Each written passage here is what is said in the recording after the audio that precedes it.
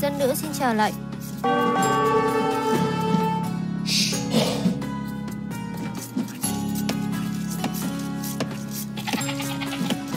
Điện hạ có gì sai bảo? Có tiểu nhân.